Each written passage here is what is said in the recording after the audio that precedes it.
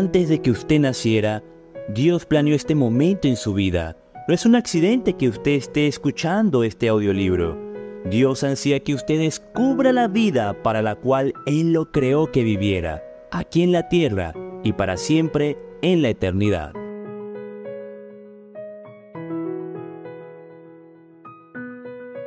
Día número 9. ¿Qué es lo que hace que Dios sonría? Propósito número 1. Usted fue planeado para el placer de Dios.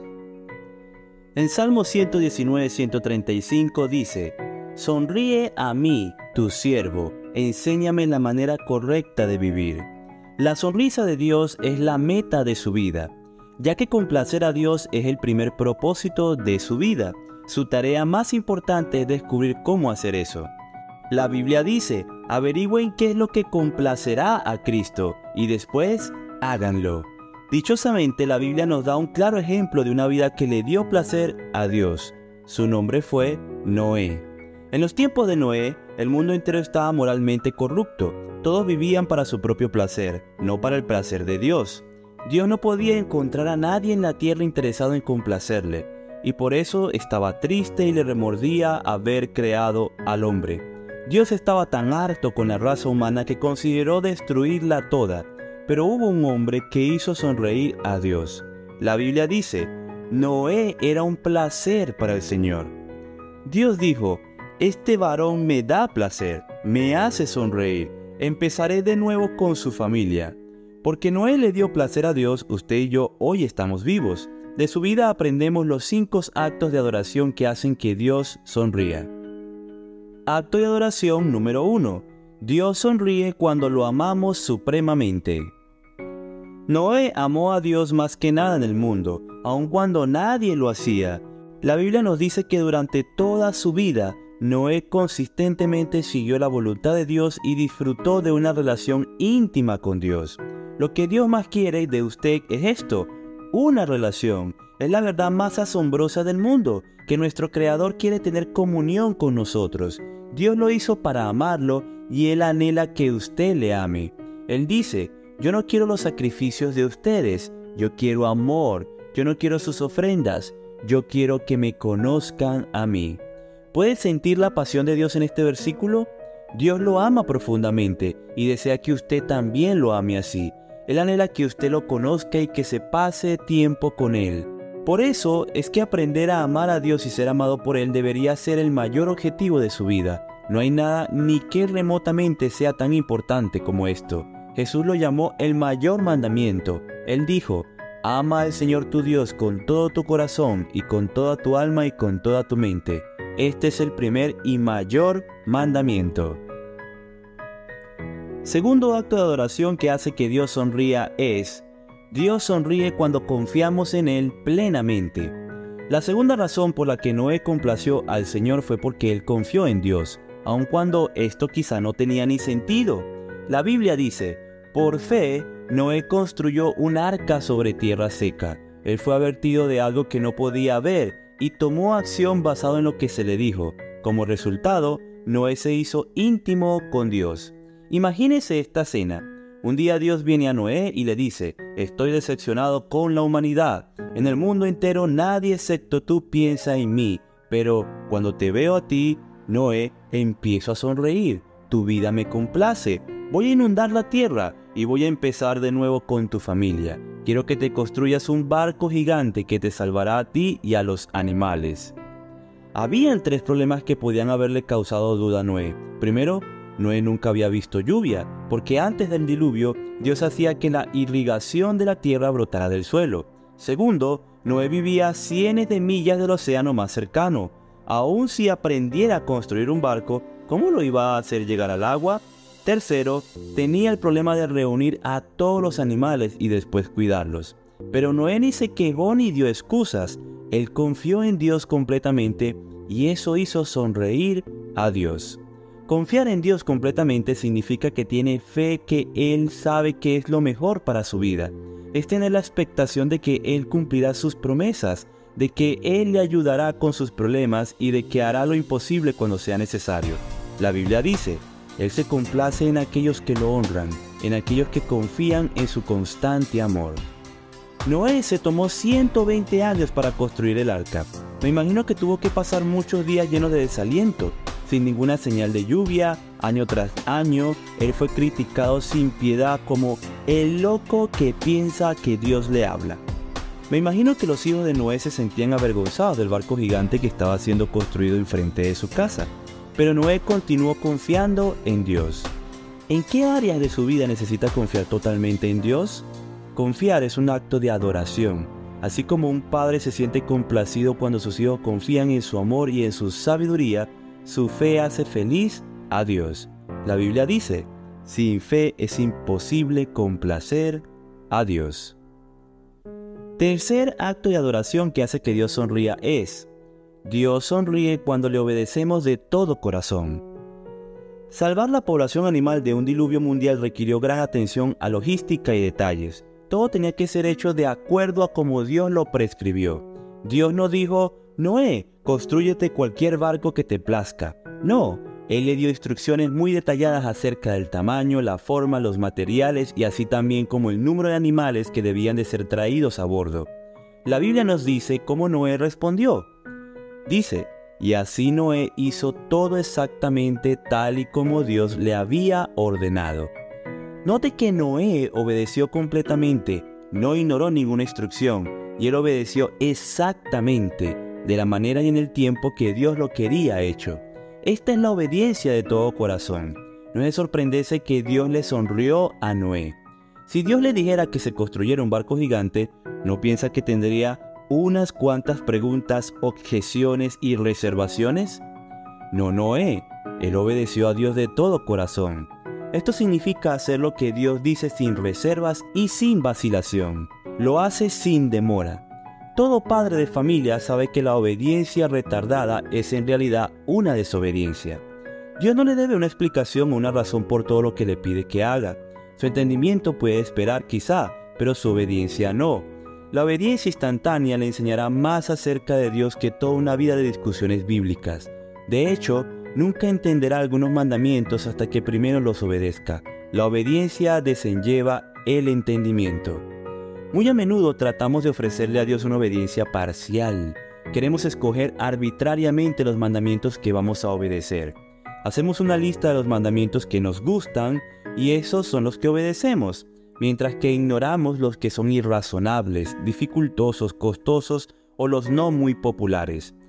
Leeré mi Biblia, pero no perdonaré a la persona que me hiera. Esto, como obediencia parcial, es desobediencia. La obediencia de todo corazón es hecha gozosamente, con entusiasmo. La Biblia dice, obedézcanle con alegría. Esta es la actitud de David. Señor, solo dime qué hacer y lo haré.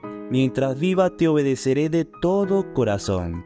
Santiago, hablándole a cristianos, dijo, Complacemos a Dios con lo que hacemos, no solo con lo que creemos. Cualquier acto de obediencia es también un acto de adoración. ¿Por qué la obediencia complace tanto a Dios? Porque prueba que usted realmente lo ama. Jesús dijo, si me aman, obedecerán mis mandamientos. Cuarto acto de adoración que hace que Dios sonría. Dios sonríe cuando lo alabamos y le damos gracias continuamente. Pocas cosas se sienten mejor que recibir la alabanza y la apreciación que viene de lo más profundo del corazón de alguien. A Dios también le gusta esto. Él sonríe cuando le expresamos nuestra adoración y nuestra gratitud. La vida de Noé le trajo placer a Dios porque él vivió con un corazón que alababa y daba gracias a Dios. El primer acto de Noé después de sobrevivir el diluvio fue expresar agradecimiento a Dios al ofrecerle un sacrificio. La Biblia dice, entonces Noé edificó un altar al Señor y sacrificó un holocausto en él. Debido al sacrificio de Jesús, no ofrecemos sacrificios de animales como Noé lo hizo. En su lugar se nos dice que ofrezcamos a Dios el sacrificio de alabanza y el sacrificio de acción de gracias. Alabamos a Dios por lo que es y le damos gracias a Dios por lo que Él ha hecho. David dijo, Alabaré el nombre de Dios con cantos y lo glorificaré con acción de gracias. Esto complacerá al Señor. Algo increíble ocurre cuando ofrecemos alabanza y damos gracias a Dios. Cuando le damos deleite a Dios, nuestros propios corazones se llenan de gozo. A mi madre le fascinaba cocinar para mí, aún después de casarme. Y si visitábamos a mis padres, mamá preparaba increíbles banquetes caseros. Uno de los mayores placeres de mi madre era vernos a nosotros sus hijos comer y deleitarnos de lo que había preparado. Cuanto más nos deleitábamos comiendo, más deleite ella sentía. Pero también nos gustaba complacer a mamá al expresar nuestro deleite de su comida. El deleite se expresaba mutuamente. Mientras comía de su gran banquete, yo expresaba cuánto me gustaba y alababa a mi madre. Mis intenciones eran no solo disfrutar del banquete, sino también complacer a mi madre. Todos nos sentíamos felices. La adoración funciona así también. Disfrutamos de lo que Dios ha hecho por nosotros, y cuando expresamos ese deleite a Dios, eso le produce gozo a Él, pero también aumenta nuestro gozo. El libro de los Salmos dice, los justos se alegran y se regocijan en su presencia, se sienten felices y gritan de gozo. Quinto acto de adoración que hace que Dios sonría. Dios sonríe cuando usamos nuestras habilidades. Después del diluvio, Dios le dio a Noé estas simples instrucciones. Den fruto y aumenten número y llenen la tierra.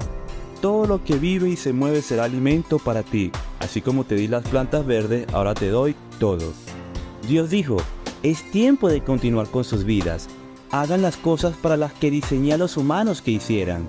Multiplíquense, siembren cosechas y coman, sean humanos. Para esto fue que los hice.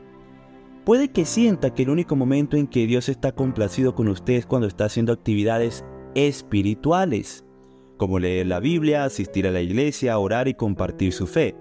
Y puede que piense que Dios está desinteresado en las otras partes de su vida. La realidad es que a Dios le deleita observar cada detalle de su vida, ya sea que esté trabajando, jugando, descansando o comiendo. A Él no se le escapa ninguno de sus movimientos. La Biblia nos dice, los pasos del devoto son dirigidos por el Señor. Él se deleita en cada detalle de sus vidas. Toda actividad humana, excepto el pecado, puede ser hecha para el placer de Dios si la hace con una actitud de alabanza. Puede lavar los trastes, reparar máquinas, sembrar una cosecha y crear una familia para la gloria de Dios. Como todo padre orgulloso, Dios especialmente disfruta verlo usar los talentos y habilidades que le dio. Él nos dotó a todos intencionalmente con diferentes dones para su deleite. Él ha hecho que algunos sean atléticos y otros analíticos. Puede que usted sea dotado en la mecánica o en la matemática o en la música o en otra de las miles de habilidades. Todas estas habilidades le pueden poner una sonrisa en el rostro de Dios. La Biblia dice, Él ha moldeado a cada persona, ahora Él observa todo lo que hacemos. No le trae gloria a Dios ni le da placer cuando esconde sus habilidades o cuando trata de ser otra persona. Solo le da deleite cuando usted es usted. Cada vez que rechaza cualquier parte de usted mismo, rechaza la sabiduría y la soberanía de Dios al crearlo. Dios dice, no tienes derecho a arguir con tu creador. Es una mera vasija de barro formada por un alfarero. La arcilla no pregunta, ¿por qué me hiciste así? En la película Carros de Fuego, el corredor olímpico Eric Liddell dice, creo que Dios me hizo con un propósito, pero también me hizo veloz y cuando corro siento el placer de Dios. Más adelante él dice, dejar de correr sería faltarle respeto a Dios. No hay habilidades que no son espirituales. Solo hay habilidades que son mal usadas. Empiece a usar las suyas para el placer de Dios. A Dios también le da el placer verle deleitarse en su creación. Él le dio sus ojos para que disfrute la belleza, le dio sus oídos para que disfrute los sonidos, le dio su nariz y sus papilas gustativas para que disfrute de los colores y los sabores, los nervios debajo de su piel para que disfrute el ser tocado.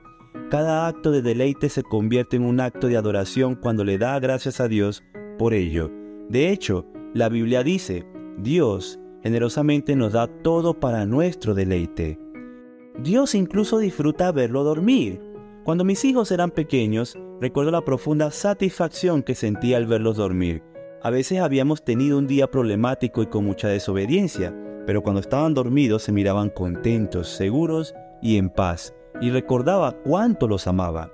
Mis hijos no tenían que hacer nada para que disfrutara de ellos, estaba feliz con solo verlos respirar, porque los amaba tanto. Mientras sus pechitos subían y bajaban, Yo sonreía y a veces mis ojos se llenaban de lágrimas de gozo. Cuando está durmiendo, Dios lo mira con amor, porque usted fue su idea. Él lo ama como si usted fuera la única persona en la tierra. Los padres no exigen que sus hijos sean perfectos, ni siquiera maduros, para que los disfruten. Disfrutan de ellos en cada etapa de su desarrollo. De la misma manera, Dios no espera hasta que alcance la madurez para que Él empiece a deleitarse en usted. Él lo ama y disfruta de usted en cada etapa de su desarrollo espiritual. Puede que haya tenido maestros o padres difíciles de complacer durante su crecimiento. Por favor, no asuma que Dios se siente así con respecto a usted. Él sabe que usted es incapaz de ser perfecto o sin pecado. La Biblia dice, Él ciertamente sabe de qué estamos hechos. Él tiene en mente que solo somos polvo. Lo que Dios nota es la actitud de su corazón. ¿Es su más profundo deseo complacerlo a Él? Esta era la meta de la vida de Pablo. Él dijo, más que todo, sin embargo, queremos complacerlo a Él, ya sea en nuestro cuerpo aquí o fuera de este cuerpo con Él allá en el cielo. Cuando vive a luz de la eternidad, su enfoque cambia de cuánto placer estoy sacando de la vida a cuánto placer está sacando Dios de mi vida. Dios está buscando personas como Noé en el siglo XXI personas dispuestas a vivir para el placer de Dios. La Biblia dice, el Señor mira desde el cielo a toda la humanidad para ver si hay alguien que es sabio, alguien que quiera complacer a Dios. Se lo rogamos, ¿va a hacer usted complacer a Dios la meta de su vida? No hay nada que Dios no haga por la persona totalmente concentrada en esta meta. Una pregunta para considerar el día de hoy. Ya que Dios sabe qué es lo mejor para mí, ¿en qué áreas de mi vida necesito confiar más en Él?